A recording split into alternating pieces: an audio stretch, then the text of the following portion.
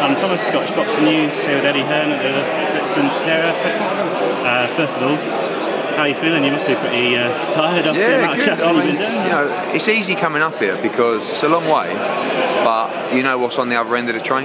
Yeah. So, you know, I've got a big passion for boxing, but I've got a bigger passion for putting on events with people that actually love it and Yeah. create atmospheres like Newcastle will on Saturday night. Last time blew my mind, and this time will blow everybody's mind because we know what to expect now, but it will be twice as loud as it was before. So I can't wait. It's a great card, and you know, looking forward to the show. Um, obviously, Scottish boxing, you've got John Docherty making Yeah. debut for yourself. Excited to? Yeah, I mean, look, he's a. We knew all about him in the amateurs. Obviously, he's a, he's an excellent fighter, and I'm looking forward to him watching uh, watching him join the pro ranks. Looks great in the gym with Tony Sims. Um, technically, very very sound. I think he's a good puncher as well. I think he's got a bright future.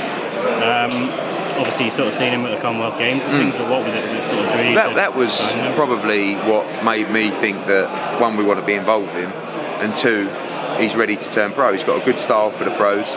He had some big wins out there, you know, beating some guys who I thought might go on. Uh, yeah, exactly. So, you know, I think that uh, he's got a good temperament. I think uh, technically he's very sound, and he's been working hard in the gym with Tony Sims, and, and looks like uh, he could be the real deal. Yeah. Um, obviously, there was excitement, but I guess with everyone's debut, you're never sort of sure how it'll go in the pros, but hoping. Yeah, I think you know. Obviously, early doors you expect these young fighters to deal with what's in front of them, but at the same time, you know, there's a lot of pressure and expectation, and people are, are moving a lot quicker than they used to.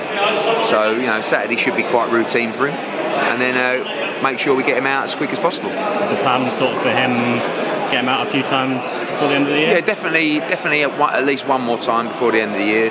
Hopefully, he gets through Saturday without any uh, lumps and bumps, and then move on to two, maybe three before the end of the year. Busy, busy year then for him. Yeah, it's, that's how it's got to be for young fighters because they need to stay in the gym. You know, they need to take their rest as well, but you know, they need to learn. And all these guys are under pressure to move as quickly as possible now. So you know, you've got to make sure that you give them the best preparation. That when they take their tests, they're ready. Um, he almost made his debut on the, the AJ. Yeah, it was just we had a spot Yeah. pop up, and uh, he couldn't get his his medicals done in time. But you know, this, this would be good for him. Um, what's your sort of thoughts on the Scottish scene as a whole, sort of over the last few years? Sort of I mean, obviously, look, you, you had Ricky Burns was was a brilliant servant of the sport, and he's still going. But I think his time in the arenas now, you know, he's looking for those big fights in the states and that kind of thing. I think Josh Taylor's an excellent fighter. Um, obviously, hasn't got the support in Glasgow that Ricky Burns had, and he's bringing people travelling from Edinburgh. But obviously, people in Glasgow are behind him as well.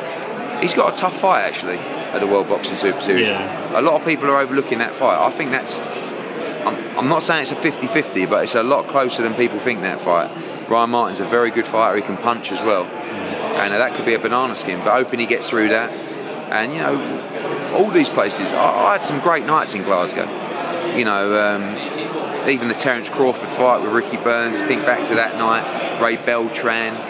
Um, you know, the night he became a three-weight world champion against Michele Di Rocco, beating Relikh as well. You know, Relikh's now a world champion, 140 pound world champion. So, you know, Ricky's been a great servant, and he's you know he's still fresh, he's still going. Um, is it fair to say it's sort of been a dip, do you feel, in the Scottish boxing, obviously, since Ricky's not Yeah, I back for a don't think there's been enough young fighters coming through who you can necessarily think have the potential to go to world level. Now, Josh Taylor is someone that can go to world level, and he's on world level now.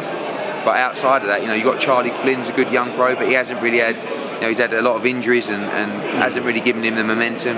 Joe Ham as well, but you know, hopefully John Docherty's the guy who can start taking Scottish boxing by the scruff of the neck, and people can follow over the next few years. Do you hope to sort of bring him back for, for shows and things? in Yeah, we'd like to. We'd point? like to. I mean, um, you know, it's always important to box people locally. Um, so, you know, hopefully the scene can revive and we can take John up there. Um, with Ricky, obviously he's 50 fights in now. Did Yeah. you ever think about having that one up in Scotland at all, or was he just? Yeah, it just it came about. He wanted to get out. You know, there's a lot bubbling around with Ricky at the moment for fights, and he wants the big fights really. And you know, he wanted to get out. And sometimes a fighter can stay in the gym, and you just need to get him out. And that was a case of needing to get him out. So he'll box on November 17 in America. We're just finalising his opponent. and uh, looking forward to seeing him back out. Is that in Vegas? That one? Uh, probably be Atlantic City. Atlantic City. Yeah. Is that on one of your? Yeah, American shows? cards. Yeah, yeah. Um, is that be on DAZN and Sky? Yes, yes. Um, I think Alex Morrison, his manager, was talking about uh, Beltran. Yeah, it's a fight we spoke to about top rank. It won't be him, but you know that's a fight down the line. I think Beltran wants to move up to 140, and maybe we could make that fight at 137, 138. It'd be a brilliant fight. And you know, Beltran was unlucky to not get the decision in the first fight, Yeah. so Ricky would be more than willing to face him again. Um, with the opponent for that Atlantic City, want any clues? St- We've got a few in the mix, so be announced next week. um, is it sort of a ticking over fight, or is it more of a No, it'd be, it'd be, a, it'd be a championship fight. You know, uh, I think we need this one and then throw him into basically whoever wants to fight Ricky Burns after that. But important to get him out. You know, he doesn't need six and eight rounders at this level now. He's, Yeah. he's had that tick over fight and now he can go into a championship fight. So did you just say you were looking next week to sort of announce Yeah, that? next week. Yeah, Fair enough. Who's who's on the rest of that card? I don't remember. Um, we're, we're announcing that coming Oh, up right, shortly. okay. Yeah, yeah. Yeah. Excited to, to yeah, get going with the yeah, it'd be good. Um, last uh, Saturday was great in Chicago. Um, you know, we were only three months in, so got a lot of work to do. But it's all about building the platform and the credibility to make people, you know, deal with the naysayers who will say, "Oh, DAZN won't last." So that's the feedback that people are feeding into the game.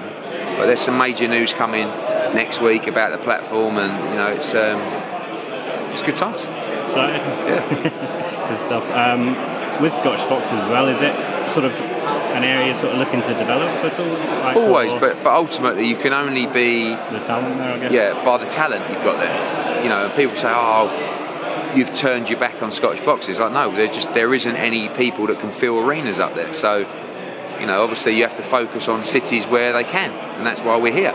Yeah. Love to be in Glasgow. I was going to say, does this sort of lead as a blueprint, like with the, the rise? It's just what we've always done. You know, we did it with Josh Warrington, we did it with Carl Frampton as well. You know, it's, we know how to build fighters in, in their local cities, and you know, you'll see on Saturday night it leads to a great atmosphere. Good stuff. Um, well, listen, thank you very much for No your time. Appreciate All right. it.